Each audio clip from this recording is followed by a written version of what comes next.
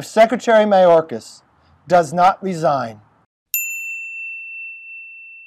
House Republicans will investigate every order, every action, and every failure will determine whether we can begin impeachment inquiry.